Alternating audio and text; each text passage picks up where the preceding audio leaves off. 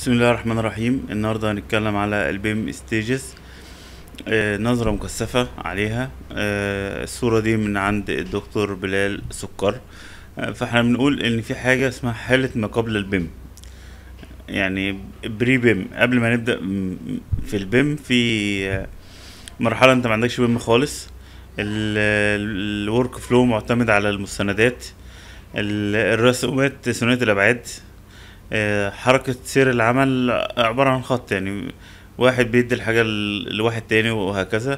آه، الاتصال في عدم تزامن العلاقات مش مترابطة أو ببعض في آه، قلة في التوافقية. ده ده pre-BIM يعني أنت ممكن تقعد في الشركة وتشوف آه، حتى لو أنت بتستخدم أي برنامج من برامج ال BIM في مشكلة عندك في, في إن مثلا آه، أغلب الحاجات معمولة 2D وال 2D مش مرتبط بال 3D والتفاصيل كلها ثنائية الأبعاد. هتلاقي في مشاكل كتير. يبقى أنت كده عرفت إن أنت في مرحلة ما قبل ال BIM. طيب مرحلة إحنا عندنا 3 stage أو في ثلاث مراحل. المرحلة الأولى عبارة عن إن الموديل مبني على عناصر المجسم مبني على عناصر ده الحد الأدنى على أساس إن إحنا نقول إن إحنا وصلنا المرحلة ديت. يبقى ال discipline أو القسم القسم مثلا معماري أو أشياء أو كهروميكانيكال آه، بيستخدم برنامج من برامج التجسيم آه، من برامج ال BIM المبني على حاجة ثلاثية الأبعاد. خلال دورة حياة المشروع جزء منها مش كلها. تمام؟ يعني بنتكلم على لا إما تصميم لا إما تنفيذ لا إما تشغيل. وشركة فيها مثلا كل قسم يعني شركة عبارة عن قسم واحد أو كل قسم ملوش علاقة بالأقسام الأخرى ما, بيستف... ما بيستفادش من الموديل بتاع الأقسام الأخرى. الخصائص هنا خصائص مرحلة البيم في المستوى الأول إنها عملية متكررة النشاط النشاط التبادلي متسلسل عملية تغذية واسترجاع خطية يعني واحد بيدي لواحد تاني مفيش آه، تبادل للمعلومات سريع. في الغالب العلاقات تخاصمية طيب آه، اللي بيخرج لنا من الحاجات دي إيه بقى؟ يعني ال deliverables أو المنجزات. هي إن أنت بتطلع بمجسم ثلاثي الأبعاد شكل ثلاثي الأبعاد آه، لكل قسم في في مشاهد فيديو متحركة آه، مجسمات ثلاثية الأبعاد بسيطة. ال- المعلومات بنبدأ ناخدها من المجسم. المطلوب أساس إن إحنا نوصل لل- لل- للنقطة ديت إن يبقى في تغيير في السياسات منخفض تغيير في العمليات متوسط تغيير في التقنية عالي. طيب لو إحنا نقلنا للمرحلة التانية ده الحد الأدنى فيه إن يبقى فيه ال multi discipline ب- كل الأقسام للبيم. يعني ما ينفعش يبقى تقول إحنا عندنا مجسم معماري بس الكهروميكانيكال والإنشائي هنعمله كاد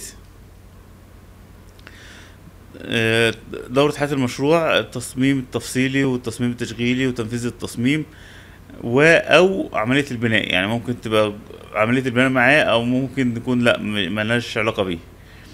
آه، عدد الأقسام أقل حاجة قسمين ممكن أكتر من كده بيتبادلوا المعلومات مع بعض. لأن مرحلة ال BIM اتنين ده مبني على التوافق بين الأقسام. فما ينفعش يبقى في توافق و... وتبادل تجاري وإحنا أصلا آه، قسم واحد أو discipline واحد. الخصائص هنا إنها عمليه متكررة إن المعلومات بيتراكم وبيتسلسل. آه، في تغذية واسترجاع متعددة الخ- الخطوط. في الغالب علاقات تخاصمية طيب تلخيص المنجزات اللي هيخرج لنا هيخرج لنا مجسم آه، 4D و- أو 4D و 5D وهنكتشف التعارضات بسهولة بين الأقسام المختلفة. المعلومات دقيقة ومفصلة ومضم- و- ومضمنة في قلب المجسم.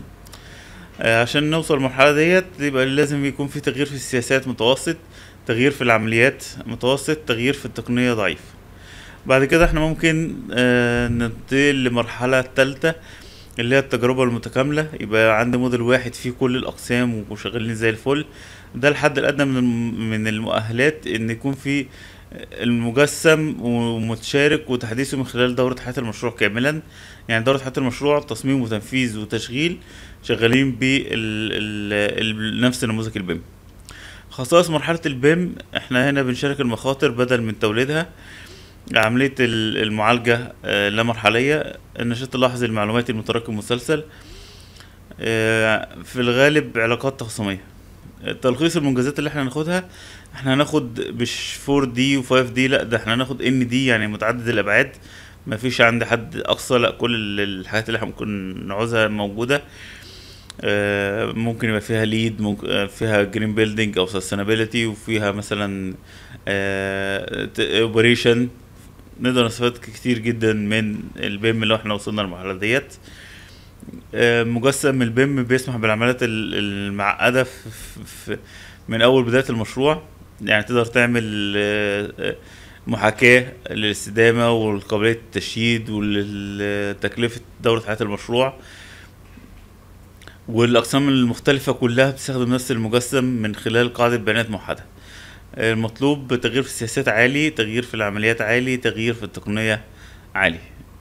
أتمنى يكون الموضوع سهل وبسيط وبالتوفيق إن شاء الله.